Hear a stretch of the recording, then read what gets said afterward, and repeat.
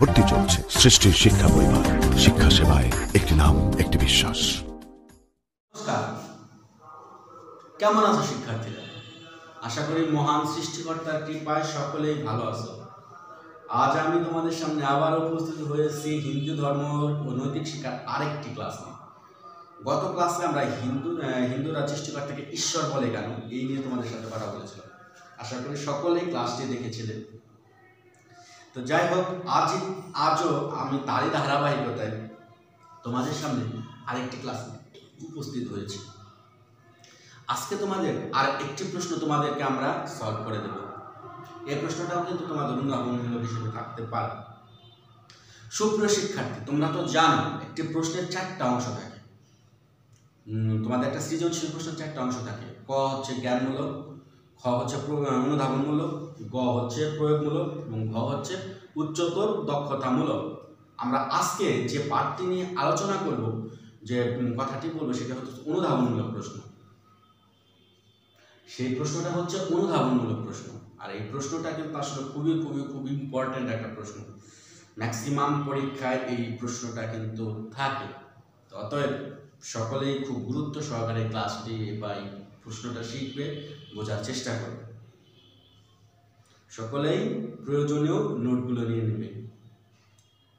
আচ্ছা চলো আসলে চলো তাহলে আমরা মূল প্রশ্নটার দিকে চলে যাই। আমাদের আজকের যে প্রশ্নটা হচ্ছে যে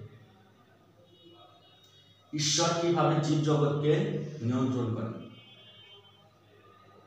ঈশ্বর কীভাবে জীব জগৎকে নিয়ন্ত্রণ করেন? বুঝতে পেরেছ? আচ্ছা, আমরা যে মূল প্রশ্নটি দিকে এখন চলে যাই দেখো, এখানে আমি কি বলেছি? ঈশ্বর। ঈশ্বর ঈশ্বর শব্দের অর্থ কি? আমরা জানো। ঈশ্বর শব্দের অর্থ হচ্ছে মানুষ। ঈশ্বর শব্দের অর্থ হচ্ছে সরি ঈশ্বর শব্দের অর্থ হচ্ছে প্রভু। ঈশ্বর শব্দের অর্থ হচ্ছে প্রভু। তিনি শৃঙ্খলার সাথে এই জীব জগৎকে তিনি নিয়ন্ত্রণ করেন। দেখো সকল শক্তি বা তিনি শৃঙ্খলার সাথে আমাদের এই জীব জগৎটাকে তিনি নিয়ন্ত্রণ করেন। দেখো, প্রত্যেকটা জিনিসের মধ্যে একটা সকলের একটা নিয়ন্ত্রণ আছে। আর নিয়ন্ত্রণ যদি না থাকতো তাহলে কিন্তু চলতো না।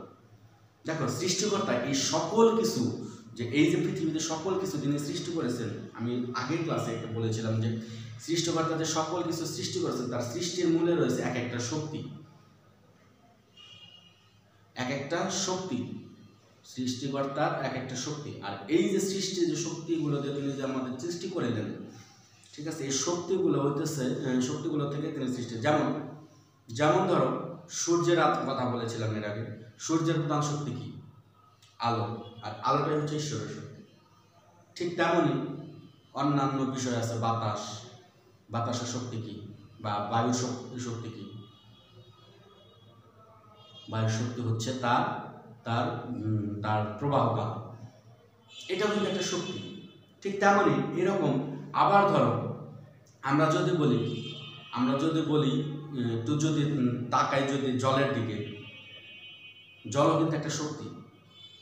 ঠিক না? এরকম প্রকৃতিতে সৃষ্টিকর্তা যে সমস্ত বিষয়গুলো সৃষ্টি করেছেন সবগুলোই কিন্তু একটা শক্তি। আর এই শক্তির মূল মূল বিষয়গুলো হচ্ছে সৃষ্টিকর্তার তৈরি। তিনি এইগুলোকে নিয়ন্ত্রণ করতেছেন। দেখো, এই যে সৃষ্টিকর্তা যে এইগুলো সৃষ্টি করলেন, সবগুলো যে সৃষ্টি করলেন, এই সৃষ্টির শক্তিগুলোকে তিনি একটা শৃঙ্খলার মধ্যে দিয়ে রাখেন। এই সৃষ্টি, শৃঙ্খলা যদি না থাকে, তাহলে কিন্তু পৃথিবী থাকবে না। যেমন ধরো, সূর্য, চন্দ্র, বা সূর্য রাতের বেলা কি সূর্য ওঠে? উঠে না কিন্তু। এটা একটা সৃষ্টিকর্তার নিয়ম করে দিয়েছেন। তিনি শৃঙ্খলা, তিনি তার জীব জীব জগৎকে পরিচালনা করার জন্য তিনি এই নিয়মটা পালন করে দিয়েছেন। তাই আমরা বলতে পারি যে সৃষ্টিকর্তা আসলে সকল কিছু নিয়ন্ত্রণ করার জন্য, শৃঙ্খলার সাথে নিয়ন্ত্রণ করেন। দেখো, সূর্য যদি ঠিক মতো না উঠতো মানে সূর্য যদি রাতের বেলায় উঠতো বা অন্য সময় উঠতো, তাহলে কিন্তু পৃথিবী ঠিক একভাবে থাকতে পারত।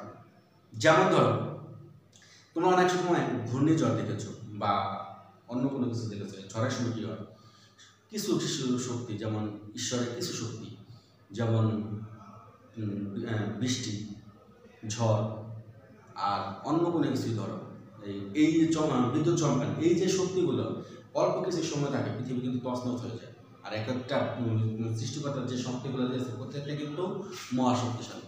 এইগুলো যদি একত্রে থাকে, তাহলে তখন কী করতো? তাহলে কিন্তু দেখা যেত সেগুলো সে, সেগুলো কিন্তু পৃথিবী রক্ষা করা যেত। ঠিক তেমনই তো তিনি তাই বলতে পারে, তিনি হতেছে তিনি সকল শক্তি তিনি সকল শক্তির তিনি আধার একমাত্র আধার হচ্ছেন এই সৃষ্টিকর্তা। সূর্যের যেমন প্রধান শক্তি হচ্ছে প্রধান শক্তি হচ্ছে তার কি? আলো। ঠিক তেমনই আমাদের দিকে যদি আমরা তাকে একটা মানুষের কথা বলি, আমাদের মধ্যে প্রধান শক্তি কি? আমাদের দেহের প্রধান শক্তি হচ্ছে আমাদের আত্মা। মানুষের আত্মাটা যদি তিনি মানুষের যখন আত্মাটা থাকে, ততক্ষণই কিন্তু জীবিত থাকে। যখন আত্মাটা থাকে না, তখন কিন্তু তাকে আমরা, মানুষ কিন্তু জীবিত থাকে। তো আমার শরীরের বা মানুষের শরীরে বা জীবের শরীরে প্রধান- হচ্ছে তার আত্মা। তাই, আর এই জীবের মধ্যে তিনি কিন্তু, এই আত্মাটাই হতে কিছু ঈশ্বরের একটা শক্তি বা ঈশ্বর। তো যাই হোক, তিনি এই জীব জীব আর জগতের উপরে তিনি কিন্তু এইভাবে তিনি নিয়ন্ত্রণ করেন। মূল কিছু হতেছে যে জীবের মধ্যে তিনি আত্মারূপে অবস্থান করেন। তিনি এভাবে কিন্তু জীবকে নিয়ন্ত্রণ করতেছেন। সূর্যকে তিনি সূর্যের মধ্যে তিনি অবস্থান করতেছেন। সূর্যের মূল শক্তি হচ্ছে আলো। তিনি যদি এই আলোটাই না থাকে, তাহলে সূর্যের কোনো দাম নেই। তাহলে সকল কিছুর মধ্যে কিন্তু জীব জীব আর জগৎকে তিনি নিয়ন্ত্রণ করতেছেন। তিনি আমাদেরও কিন্তু নিয়ন্ত্রণ করতেছেন। তিনি আমাদের আত্মাটাকে নিয়ন্ত্রণ করতেছেন কীভাবে? দেখো, আমাদের জন্ম থেকে মৃত্যু পর্যন্ত যে সময়টা তিনি আমাকে সৃষ্টি করলেন, তিনি একটা সময় কিন্তু আমাদের আমরা কিন্তু মৃত্যুবরণ করে শেষ করব আমাদের জীবনটাকেও কিন্তু তিনি একটা নিয়ন্ত্রণের মধ্যে নিয়ে রেখেছেন। তাই না? আজ মানুষের জীব জন্ম থেকে মৃত্যু পর্যন্ত যে সময়টা, এটাকে আমরা কি বলি? জীবন। মানুষ যত বড় হোক, আমাদের সৃষ্টি করেছেন, আমাদের ধ্বংসের মাধ্যমে কিন্তু আমাদেরকেও তিনি নিয়ন্ত্রণ করতেছেন। ঠিক নয় কি? হ্যাঁ তাই। ঠিক তেমনই এভাবে তিনি আমাদের এই জীবজগৎ জীবজগৎকে সকল কিছুকে তিনি সৃষ্টি করতেছেন, তিনি আবার পালন করতেছেন, তিনি আবার নিয়ন্ত্রণ করতেছেন। এভাবে কিন্তু জীবজগৎকে তিনি প্রভুত্ব করতেছেন জীবজগতের উপর প্রভুত্ব করতেছেন। তাই তাই আমরা বলতে পারি, এই সৃষ্ট তার, এর জন্যে তার নাম ঈশ্বর। তিনি আমাদের সব কিছু নিয়ন্ত্রণ করতেছেন বিধায় কিন্তু তার নাম ঈশ্বর। আমি আগেই বলেছি, ঈশ্বর শব্দের অর্থ হচ্ছে প্রভু। ঠিক আছে? তিনি দেখো প্রভুরা আহ, প্রভু কি করতেছে? তিনি আমাদের সকল কিছু নিয়ন্ত্রণ করছেন আর ঈশ্বর তিনি অনাদি তার আদি নেই। তিনি কোথা থেকে সৃষ্টি হয়েছে তার কোনো আদি নেই। তাই তাকে আমরা অনাদি বলি। তাই ঈশ্বর আবার অনন্ত তার কোনো অন্ত নেই তার কোনো শেষ নেই। তার জন্য তাকে আমরা অনন্ত বলি। আর এই ঈশ্বর যে অনাদি অনন্ত এবং অবিনশ্বর তার কোনো বিনাশ নেই। তার জন্য আমরা তাকে অবিনশ্বর তাই অনাদি অনির্গুণ অবিনশ্বর, এই অনন্ত অবিনশ্বর ঈশ্বরকে আমরা সবসময় শ্রদ্ধা করে থাকি। তিনি আমাদের জীব জগৎকে নিয়ন্ত্রণ করতেছেন। আশা করি সকলেই বুঝতে পেরেছি তো আগামী ক্লাসে অন্য একটি ক্লাস নিয়ে তোমাদের সামনে উপস্থিত হব, সেই বিষয় নিয়ে আজকের মধ্যে এখানে সব। বিদায় নিচ্ছি। নমস্কার।